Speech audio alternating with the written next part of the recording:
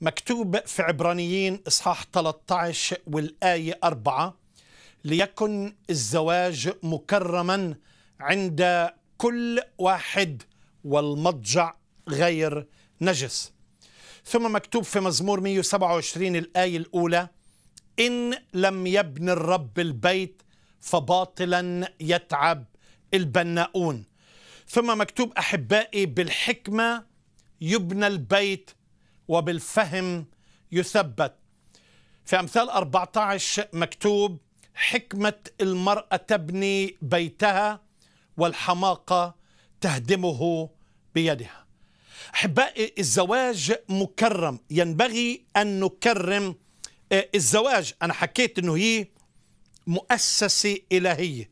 طب السؤال ليه لازم نكرم؟ ليه ينبغي علينا أن نكرم الزواج. عدة أسباب.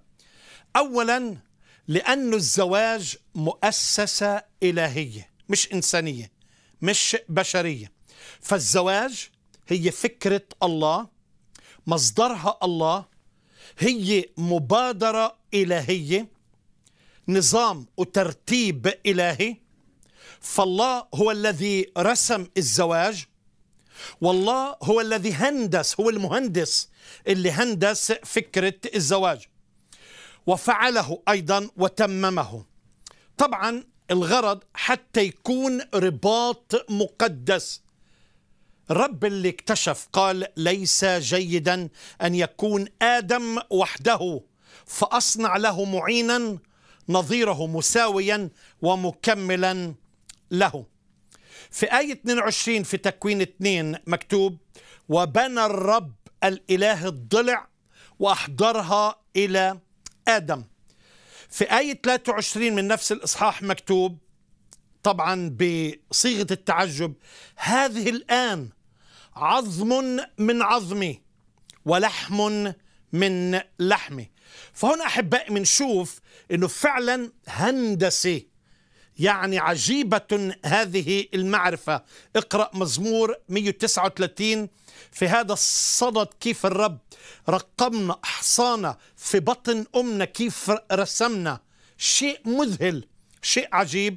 وأحضرها لآدم أحبائي. وفعلا صارت أم كل حي. مكتوب لأنه من يجد زوجة يجد خيرا. وينال رضا من عند الرب.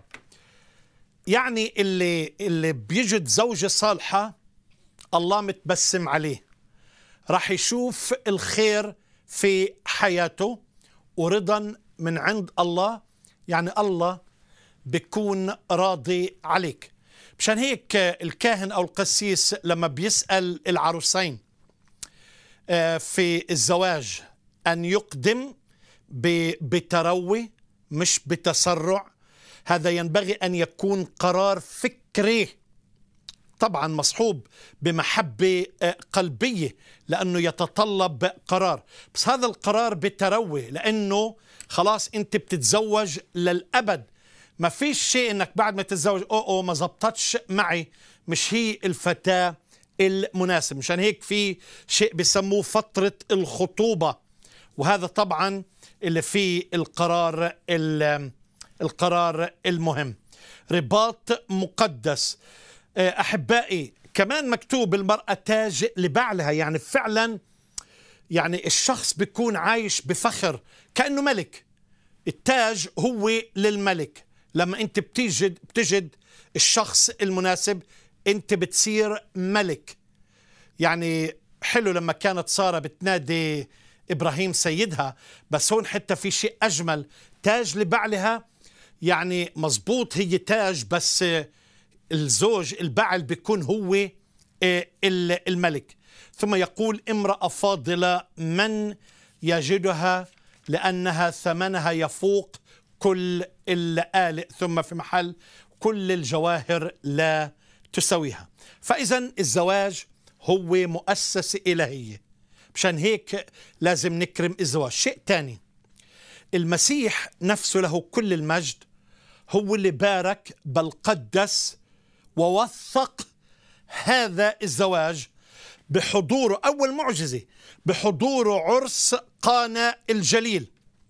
لقد كان وجود يسوع المسيح تأكيدا على قدسية الزواج بل باركه أيضا بحضوره. شيء ثالث.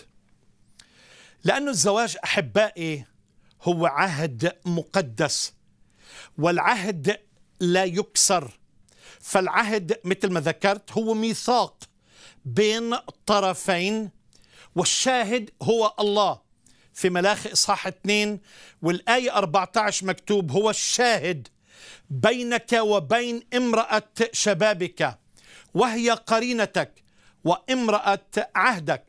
فإذا هو رباط روحي مقدس ثم في ملاخي مكتوب طالبا زرع الله.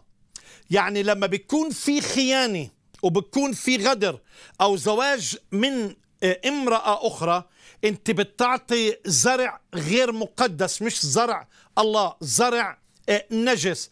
تسبب زرع نجس وهذا يدمر عيلتك ويدمر في المجتمع. فإذا هذا العهد هو تعبير عن انتماء وعن ولاء للرب وهو طبعا من خلال المحبة.